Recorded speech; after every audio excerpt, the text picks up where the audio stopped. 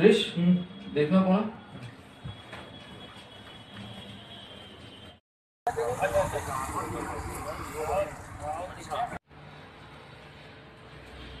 पापा लगता कुछ लोग चंदा लेने आए। क्या? चंदा? मैं देखता हूँ।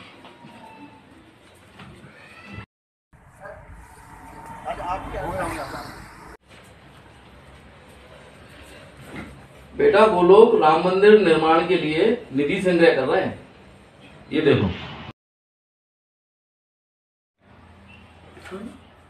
हाँ पापा याद आया। जो अयोध्या में राम मंदिर बन रहा है वो। हाँ बेटा बिल्कुल सही। बेटा ये हम लोगों का सौभाग्य है कि हम और हमारे देशवासियों के सामने ये लगभग 500 साल के संघर्ष के बाद ये राम मंदिर निर्माण हो रहा है। तो पापा इतने सालों बाद ही बन रहा है मंदिर हाँ बेटा ये बहुत लंबी कहानी है। किसी दिन फुर्सत में बताऊँगा।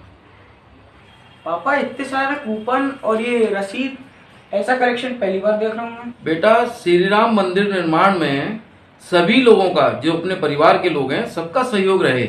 इसलिए ये मैंने चार कूपन लिए और बड़े अमाउंट की रसीद कटवा ली जो मेरे नाम से है। इसमें कूपन जो है ना एक मैंने आपका लिया एक आपके बड़े भाई का एक उससे बड़े भाई का और एक तुम्हारी मम्मी का। और इससे तुम्हें ये याद रहेगा कि तुमने भी श्री राम मंदिर निर्माण में योगदान किया था। जब तुम बड़े हो जाओगे ना और जब बच्चों को घुमाने ले आओगे तुम अपने बच्चों को तब तुम बताओगे कि देखो श्री राम मंदिर के इस भव्य मंदिर में हमारा भी योगदान है। ठीक है? तो पापा एक कूपन और ले लो अपने पैसे से। ले लो। पैसे कहाँ गुल्लक में। जय श्री राम कूपन ले आया। जय श्री राम अब तुम्हें बेटा ये कूपन की वजह से तुम्हें हमेशा याद रहेगा। और आओ मैं तुम्हें एक बात बताता हूँ। बेटा श्री राम मंदिर ट्रस्ट चाहता तो एक व्यक्ति को बोल देता, क्योंकि हमारे भारत देश में एक से बढ़कर एक धनाढ़ रईस लोग पड़े हुए हैं। एक से बढ़कर एक बड़े बड़े व्यापारी। उनमें एक व्यक्ति भी मंदिर बनवा सकता था, लेकिन नहीं।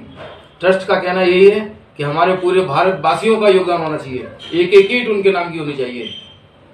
जब मंदिर भव्य बनेगा तो सबको गर्व होगा। तो बोलो प्रेम से, जय श्री राम।